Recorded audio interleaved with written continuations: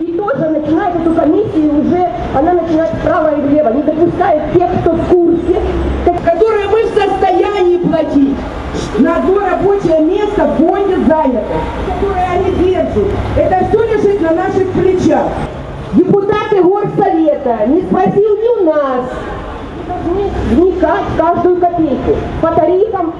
На том митинге мы отдали резолюцию. Свою резолюцию мы просим э, оставить э, с- сумму, я имею в виду оценки земли, оставить на уровне 2015 года, потому что люди не в состоянии сейчас платить именно вот поднятие этих сумм. Мы знаем, что два законопроекта лежит в Верховной Раде. Ну, вы же понимаете, у нас же э, Верховная Рада там бьются за кресло, что у них они не могут коалицию собрать, и мы будем ждать, я не знаю, неизвестно когда, когда они проголосуют за этот закон.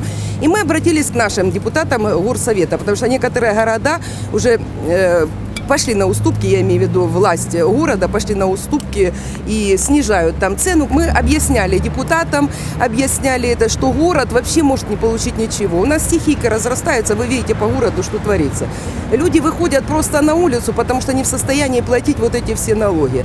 Получил я оценку земли новую. Оценили землю три сотки под миллион.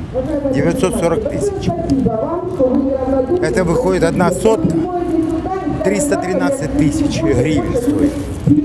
И выходит налог на землю теперь в месяц должен платить 2350 гривен. То есть это две моих пенсии. Магазин на поселке находится, значит, одна асфальтира из 12 улиц, которые на поселке. Одна улица только асфальтированная, это не полностью. Э, Из 12 улиц только две улицы освещается, тоже не полностью. Коммуникация старая, электроэнергия плохая. И вот такие вот цены. Так оценили землю. Получается золотая земля. То есть я бы хотел, бы, чтобы у меня за эти деньги купили мой магазин. Я с удовольствием буду жить как нормальный пенсионер. Так дальше невозможно. Ну, потребовать, чтобы сделали нормальную индексацию, как в других городах уменьшили.